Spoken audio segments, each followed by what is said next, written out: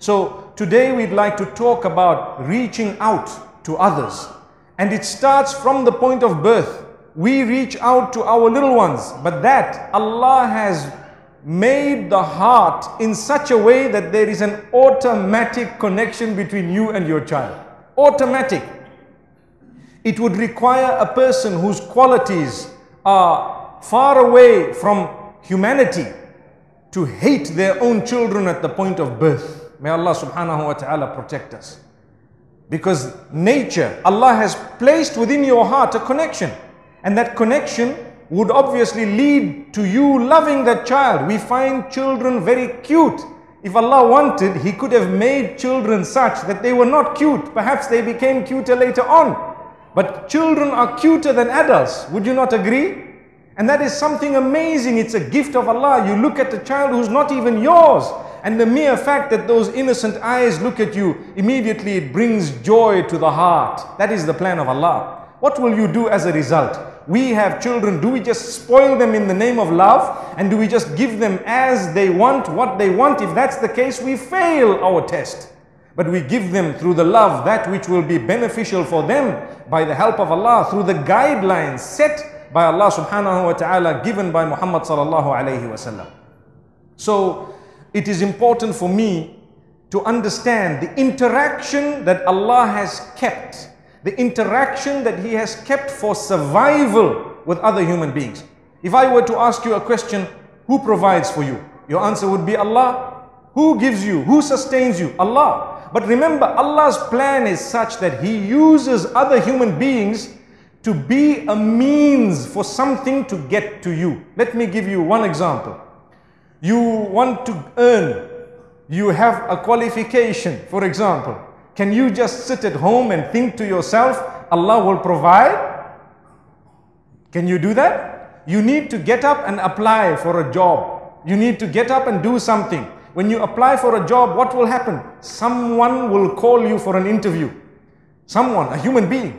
So you cannot say, look, this person is not providing for me, so I don't need to talk to them properly. You need to go and you need to show them your skill in order to prove to them that you are deserving of that post. Because if there are 20 people, 50 people vying for the same post, you will not get the job unless you happen to be a person who is outstanding somewhat, somehow and then you get the job. So you go out, you have to show them what you have. This is not an ibadah in the sense that we are not showing them an act of worship, but we are showing them a skill that we have in order to prove that we are deserving of what we are asking for. That was the plan of Allah. So you got the skill, you went out, you had to make an effort, then every day you have to get to work at a time that was already fixed. So it's either 9 to 3 if you're very lucky, or 8 to 5 if you are still a little bit lower down the ladder. May Allah subhanahu wa ta'ala make it easy for us. Why I say this is because our children also need our time. And we ask Allah to help us such that as we progress and become older, we have more time with our family rather than the other way around. So if you get your job, you will need to mix with people. You need to interact. You have your mobile phone. When you phone, you talk to someone. How you talk is reaching out to them. How you interact is reaching out to them. What is your duty? Your duty is to live by the example of Muhammad, may peace be upon him. Sallallahu alayhi wasallam. That is your duty, that is my duty. Sometimes we know his example, but we become oblivious of it. For some reason, we throw it at the back of our minds and we lead a life thinking we are good Muslims and that's it, without implementing what we've learned. Sometimes when we go to universities, we learn so much for so many years. But how much will you actually implement when you get your job? It's a small percentage of what you've learned. When it comes to Islam, that is not the case. Whatever you learn, you implement. Whatever you know about Muhammad sallallahu alayhi wasallam, you put into practice. This is the gift of Allah. And your test is to ask yourself, am I putting more and more into practice as time is passing? Or am I becoming worse? May Allah subhanahu wa ta'ala protect us and grant us ease. So this is why my brothers and sisters to mix and interact has been kept the plan of Allah. How do you mix with others and how do you interact with them? In order to answer that, you need to ask yourself, who do you mix with and who do you interact with? Firstly, as you're growing older, When you're a little baby, you don't even know how to speak. And then your parents teach you how to speak, or those around you teach you how to speak. From that time, let's put ourselves into the shoes of parents for a moment. It is your duty to touch the lives of your own children in such a beautiful way that they learn manners, they learn good language. If you are to swear and to use foul language, how would you have touched the lives of your own children? In a very dirty way. In a way that when they grow up, they will be even more vulgar than you. Is that called beautiful touching of the lives of your own children? When we say others, you start with your own family.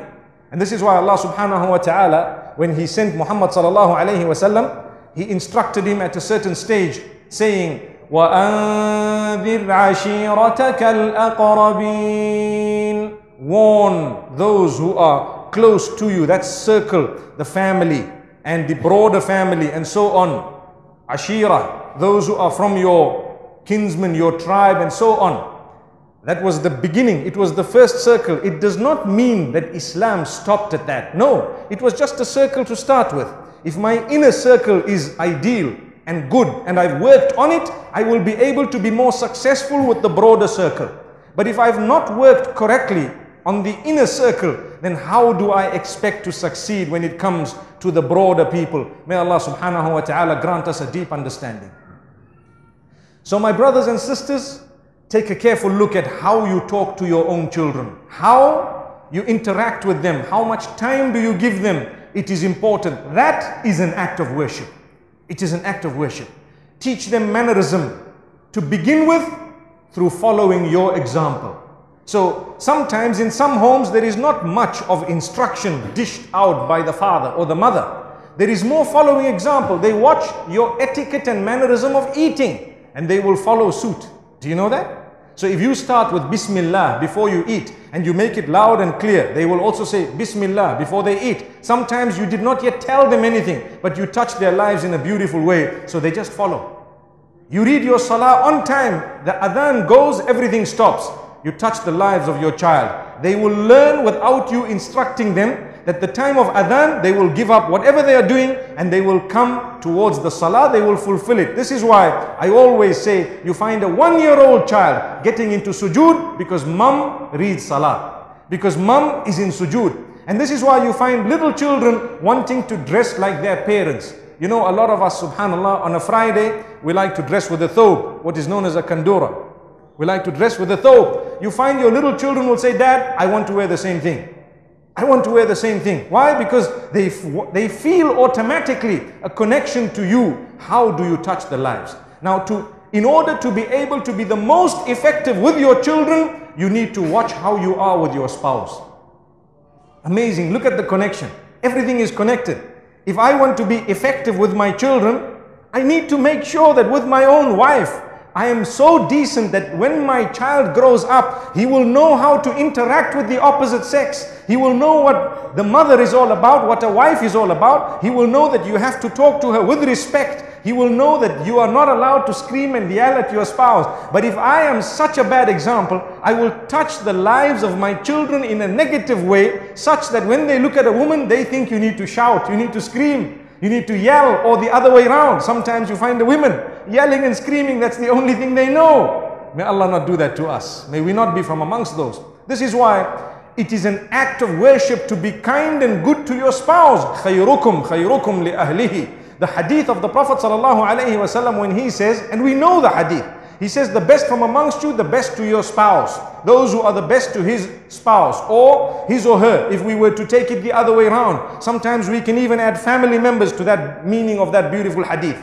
So the reason is, if you are good within your inner circle, you have contributed towards the positive growth of society and humanity at large.